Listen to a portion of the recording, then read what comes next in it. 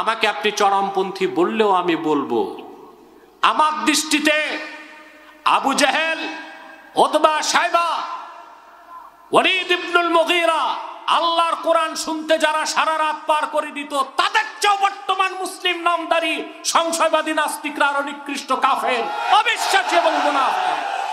আপনি যদি বলেন, রবীন্দ্রনাথ আর নজরুলে আপনি কম্পারিজন কি করেন? আমাকে বলেন। আমি বলব, নজরুল ছিল জাত কবি। রবীন্দ্রনাথ তার উল্টো। আমি বলব, নজরুল ছিল স্বভাব কবি। রবীন্দ্রনাথ তার উল্টো। আমি বলব, নজরুলের ছিল অস্বাভাবিক, অসম্ভব কাব্য প্রতিভা। আর রবীন্দ্রনাথ অধিকাংশ কবিতায় চুরি করেছে, কোথাও পংক্তি কোথাও লাইন, কোথাও ভাব। আপনারা তো ফার্সি পড়েন না, আমরা তো পড়ি, আমরা বুঝি। অধিকাংশ কবিতায় সে অমর খৈয়াম কবি হাফিজ শেখ সাদি জালালউদ্দিন রুমির, ফার্সি জানতো? ওইগুলোকে বাংলায় কাব্য অনুবাদ করে নিজের নামে চালায় দিছে ঠাকুর।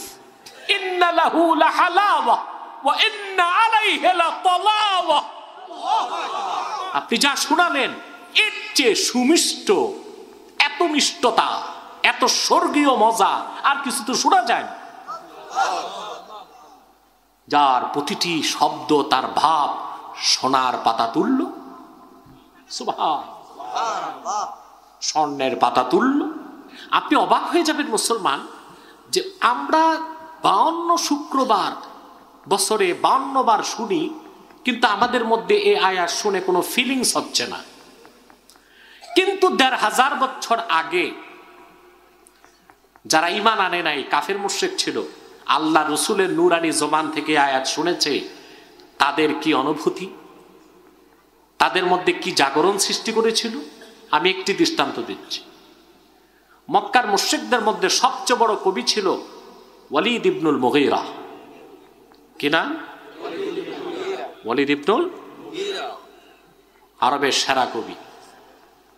শুধু কবি না, জাত কবি, স্বভাব কবি।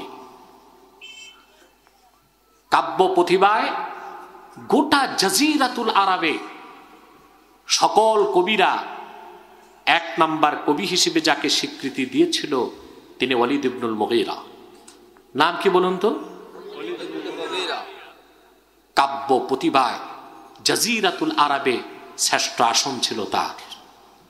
রসুল করিম সাল্লা সাল্লাম যখন কোরআন নাজিল হতো আর তিলাবাত করতেন দলে দলে কাফেররাও এসে বসে থাকতো রসুল্লার জবান থেকে কোরআন করিম শুনতে। রাতের অন্ধকারে কাবা ঘরের চারপাশে দাঁড়িয়ে থাকতো আবু জাহেল আবুল আহাব হেন্দা উম্মে জামিল, আবু সুফিয়ান, আবুল মুখতারি সব। আল্লাহর হাবিব তেলাত করতেন, ওরা শুনত। ওরা কোরআন শরীফ বুঝত। কোরআন ঐশ্বরিক বাণী আল্লাহর পক্ষ থেকে তাও জানতো কিন্তু নেতৃত্ব হারাবার ভয়তে আর গোমরাহির কারণে ইমান আনতে পারে যারা কোরআন শরীফ শুনত, তারাই মস্তক নত করে দিত। কিতাবু শেফা বি তারিফি হুকুকিল মুস্তাফাতে এসেছে, কাজী আয়াজ রেওয়ায়ত করেন। রসুল্লার এক সাহাবি হাঁটতেছেন আর কোরআন শরীফ পড়তেছেন। দুইটা আয়াত, কয়টা? ফাসদা বিমা তুকমার ওয়া আরিদ আনিল মুশরিকিন। সাহাবি পড়তেছেন হাঁটতেছেন। সাহাবিদের একটা অভ্যাস ছিল হাঁটতে চলতে ফিরতে দরুদ শরীফ পড়তেন কোরআন শরীফ পড়তেন। আরবে এক লোক দুধ বিক্রি করে দুধ উটের দুধ আর গাড়ি নিয়ে দুধ নিয়ে হাঁটতেছে আর সে কি বলে ডাকতেছে? ইশাবুল হালিব সাল্লু আলাল হাবিব। সুবহান। আমাদের দেশে কি বলে ডাকে? মাছওয়ালা মাছ বলে ডাকে, মাছ মাছ মাছ। ঠিক কিনা? তারপরে যে যে পণ্যটা বিক্রি করে এটা বলে ডাকে। আর তাদের চেঁচামেচিতে আমাদের কান জ্বালাপাড়া হয়ে যায়। দুধওয়ালা দুধ বিক্রি করতেছে, দুই ব্যবসা করতেছে, দুনিয়ার ব্যবসা, আখেরাতের ব্যবসা। ইশরাবুল হালিব সাল্লু আলাল হাবিব। দুধ পান করো রসুল্লার উপর দরুদ পড়ো। আল্লাহ আকবর। সাহাবা অভ্যাস ছিল দুরুদ সালাম পড়তেন আর কোরআন তলাত করতেন। আর আমাদের অভ্যাস হচ্ছে সারে গামা। ঠিক কিনা? গান বাদ্য। বাংলাদেশ অপসংস্কৃতির আগ্রাসনে ধ্বংস হয়ে যাচ্ছে। ইসলামের পক্ষে যারা গান গায়, তাদের সংখ্যা এখনও খুব কম। অপসংস্কৃতির মোকাবেলা এটা উল্লেখযোগ্য কিছু এখনও হতেই পারে নাই। আরও শক্তিশালী সৈনিক লাগবে আমাদের সাংস্কৃতিক অঙ্গনে। আল্লাহ কবুল করুক। রসুল্লার সাবি হাঁটতেছেন, তিলাওয়াত করতেছেন, ফাজদা বিমা ওয়া আরিদানিল মুশরিকিন। এই কোরআনের দুটো আয়াত, এক কাফের কর্ণ কুহরে ঢুকে গেল। কোরআনের দুটো আয়াতের কাছে সে কাফের এতটা দুর্বল হয়ে গেল। সাহাবির পিছনে সে দৌড়াচ্ছে শুধু আয়াতটা বারবার শোনার জন্যে।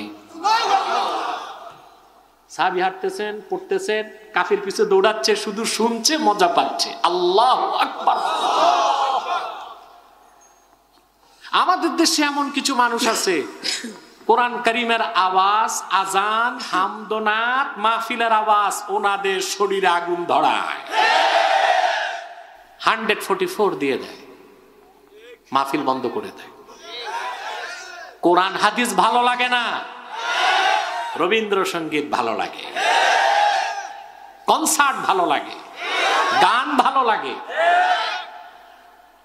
আমাকে আপনি চরমপন্থী বললেও আমি বলব আমার দৃষ্টিতে আবু জাহেল, ওতবা সাহেবা ওরিদ ইবনুল মুগীরা আল্লাহর কোরআন শুনতে যারা সারা রাত পার করে দিত, তাদের চেয়েও বর্তমান মুসলিম নামদারি, সংশয়বাদী নাস্তিকরা আরও নিকৃষ্ট কাফের, অবিশ্বাসী এবং মুনাফিক।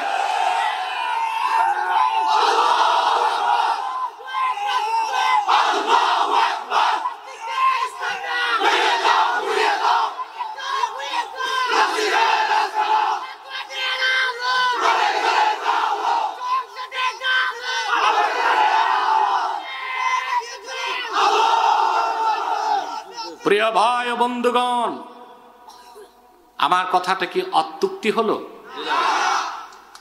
এরা কোরআন করিম বিশ্বাস করে না, শুনতেও চায় না। ওরা কোরআন করিম মানত না, শুনতো। এদের শুনতে ভালো লাগে না, ওরা শুনতে মজা পেত। সারা রাত জেগে থাকতো। আসাহুসিয়ার সিরাতের কিতাব আসাহুসিয়ার আব্দুর রাব দানাপুরি রহমতুল্লাহ লেখা। একটা মকবুল কিতাব। তিনি সেখানে তথ্য দিয়েছেন, সারা রাত আবু জেহেল আবুল আহাব আবু সুফিয়ান কাবার ঘরের সামনে দাঁড়ায় থাকতো। রসুল্লাহ নুরময় জবান থেকে ওহির কথা শুনতে আল্লাহ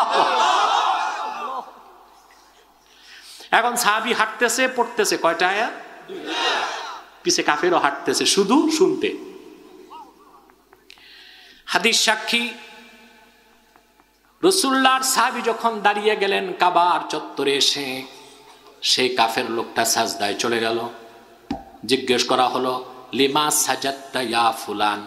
তুমি কেন সিজদা করেছ? সে বলেছে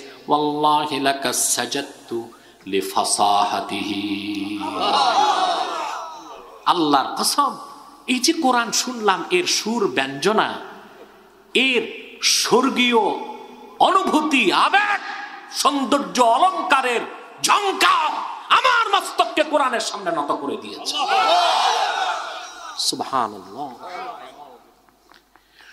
তো কোরআন শরীফ যারা শুনতো মুসলমান হতে লাগল। আবু জেহেল আসছে ওয়ালিদ বিন মুগিরার কাছে। কেন আসছে? এসে বলল, ভাই, বাপদাদার ধর্ম তো শেষ। বলে, কেন? বলে, কোরাইশ বংশের কলিজার টুকরাগুলো তো সব মুসলমান হয়ে যাচ্ছে। বলে, বলো কি, আমি তো কবিতা সাহিত্য কবিরা একটু ভাবুক হয় না? কথা বলেন। তবে আরবের কবিরা, আমাদের দেশের কবিদের মতো তো নোংরা ছিল না। আমাদের দেশে কিছু কবি সাহিত্যিক পাবেন আপনি বাংলা একাডেমিতে, এরা দেখা যায় কয়েক মাসে গোসল করে না।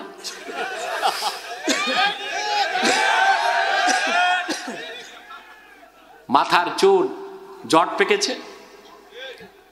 হাতে মহিলাদের মতো চুরি, এসব চারুকলার ঝাড়ু মারা করে আপনার অনেকটা লালন ভক্ত, একটা ব্যাগ জুলাই এত দুর্গন্ধ শরীর থেকে গাঁজা আর সিগারেটের মশা মাছিও কাছে ভয়তে যায় না।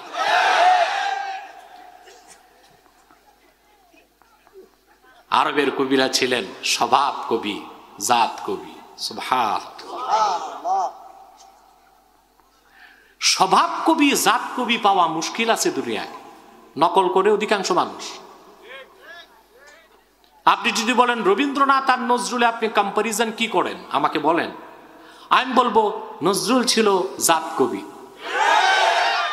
রবীন্দ্রনাথ তার উল্টো। আমি বলব, নজরুল ছিল স্বভাব কবি। রবীন্দ্রনাথ তার উল্টো। আমি বলব, নজরুলের ছিল অস্বাভাবিক, অসম্ভব কাব্য প্রতিভা। আর রবীন্দ্রনাথ অধিকাংশ কবিতায় চুরি করেছে, কোথাও পংক্তি কোথাও লাইন, কোথাও ভাব। আপনারা তো ফার্সি পড়েন না, আমরা তো পড়ি, আমরা বুঝি। অধিকাংশ কবিতায় সে অমর খৈয়াম, কবি হাফিজ, শেখ সাদি, জালালউদ্দিন রুমির। ফার্সি জানতো? ওইগুলোকে বাংলায় কাব্য অনুবাদ করে নিজের নামে চালাই দিছে ঠাকুর।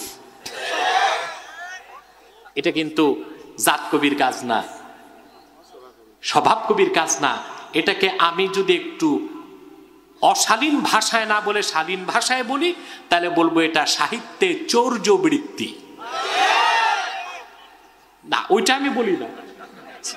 কারণ রবীন্দ্রনাথ ঠাকুরের অনুসারী তো আছে বাংলাদেশে।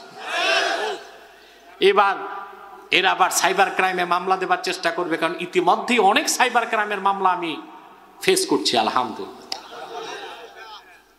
ওরা জানে যে সাইবার ক্রাইম মামলা দিলে এটা বেল নাই। তা আগে তো ঢুকতে হবে, তারপর না বেল নাই। এগুলো কার হাতে? প্রিয় সুধী, আবু জাহেল বলল, ওয়ালিদ, ইতিমধ্যেই আবু বাকার, ওমর, ওসমান, আলী আবিরে হামজা, খাব্বাব খোবাই ফানজালা তারা সব মুসলমান হয়ে গিয়েছে। বলে, কেন? বলে, যারাই মোহাম্মদ সাল্লাহ সাল্লামের নূরের জবান থেকে একবার কোরআন শোনে, তারা মুসলমান হয়ে যায়, কালেমা শাহাদাত পড়ে। বলে, কোরআন এত সুন্দর? বলে হ্যাঁ। এত মজার? হ্যাঁ। এতই আকর্ষণ? হ্যাঁ। শোনো একটু তুমি।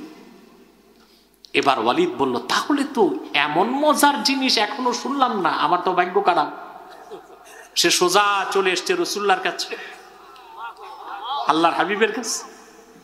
সুবাহ রসুল্লার কাছে আসতে সে কোনো প্রশ্ন করল না। হাদিসে কেন আসছে তাও বলল না। রসুল্লাহ তাকে দেখে সুরা নাহাল থেকে নব্বই নাম্বার আয়াত শুরু করছে। আল্লাহর হাবিব পড়তে লাগলেন। ইন্নাল্লাহা ইয়া'মুরু বিল আদলি ওয়াল ইহসান। وإيتاء ذي القربى وينهى عن الفحشاء والمنكر والبغي يعظكم لعلكم تذكرون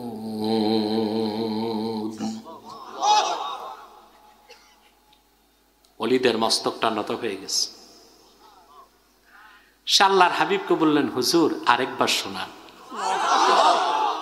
রসুল্লাহ পড়লেন সে বলল, হুজুর, আরেকবার শোনা। হুজুর পড়লেন সে একটা কথাই বলল ইয়ার রাসূলুল্লাহ, যা শোনালেন। জীবনেও তো এরকম সুন্দর কথা শুনি নাই।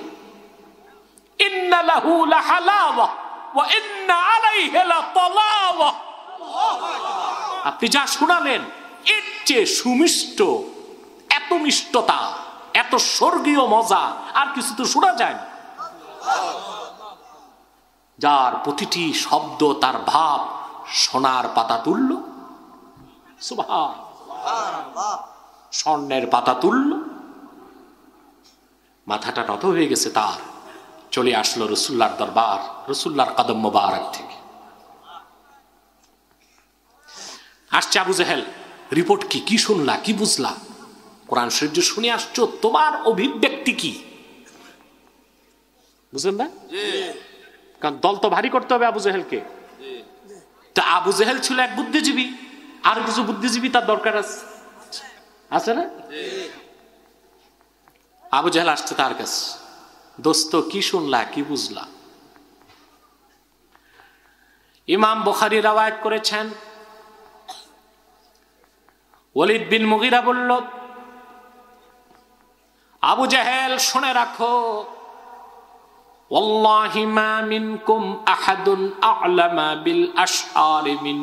আল্লাহর কসম, তোমাদের মধ্যে গোটা আরবে আমার চেয়ে বড় কবি তো কেউ নাই। কাবার মালিক আল্লাহর কসম করে বলছি, যা শুনেছি মোহাম্মদ আলাইহি কাছে তা কোনো মানুষের কথা নয়, আল্লাহর বাণী।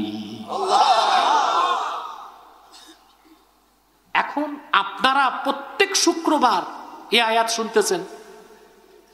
বছরে বাহান্ন বার। যে দশ বছর জুমা পড়েন, সে পাঁচশো বিশ বার শুনে ফেলছেন। ঠিক কিনা? আপনাদের কোনো অনুভূতি নাই কোনো? কোনো পরিবর্তন নাই কেন? আপনার বুঝেন না? ঠিক কিনা? এ আয়তের অর্থ, ব্যাখ্যা, শিক্ষা ও দীক্ষা থেকে অনেক দূরে আছেন। তা শুন না, আমরা একটু শিখি আল্লাহ কি বলতে চেয়েছেন?